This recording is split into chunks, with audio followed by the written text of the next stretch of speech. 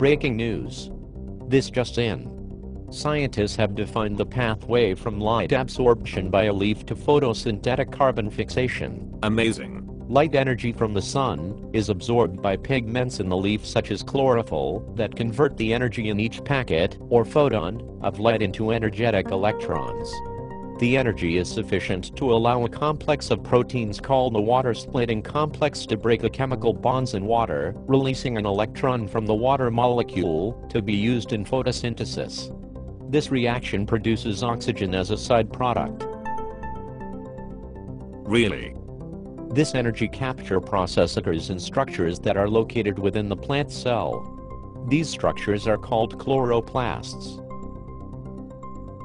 A special chlorophyll molecule called a reaction center absorbs light energy to boost this electron to a high energy state. From here the electron is passed from protein to protein. These proteins are embedded in an internal membrane in the chloroplast called the thylakoid membrane. Damn. The positioning of these reactions in the thylakoid membrane allows for the high energy transitions involved to be safely and carefully controlled. These proteins are called the electron transport chain.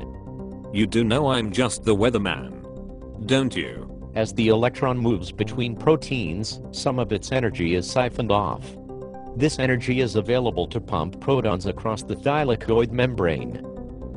The electron eventually lands in another reaction center, where a second photon of light energy excites it further. I mean I'm only really here to read the weather. The electron travels through more proteins in the thylakoid membrane, losing energy and pumping protons across the membrane. You know, things like 50% chance of rain. Eventually the electron is stored in a molecular battery called NADP to be used later. Sometimes I forecast snow. The protons that were pumped across the membrane now flow back through an enzyme called ATP synthase. The flow of protons is an energy source that is used by this enzyme to synthesize the molecule ATP. This ATP is the universal energy currency of the cell. 50% chance of snow. In one of the most fundamental biochemical reactions of life enzymes combine ATP, the stored electrons in NADP and carbon dioxide from the atmosphere to produce sugars. These biochemical reactions are called the Calvin-Benson cycle. 50% chance of rain. Not really much of a forecast is it? It's like saying it might rain, but then again it might not. The sugars produced by the Calvin-Benson cycle drive life on the planet. Weather is hard.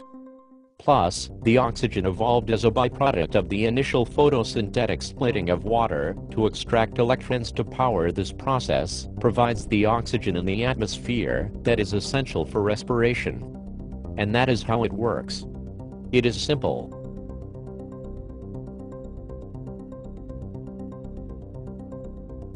So you mean Yes. Light energy from the sun must be converted to some kind of chemical energy to be biologically useful. And this involves converting light to a flow of electrons to make chemical energy that powers the synthesis of the sugars that feed biology.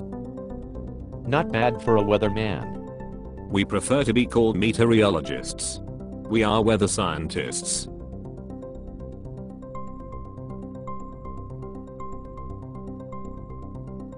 50% chance of rain, you say.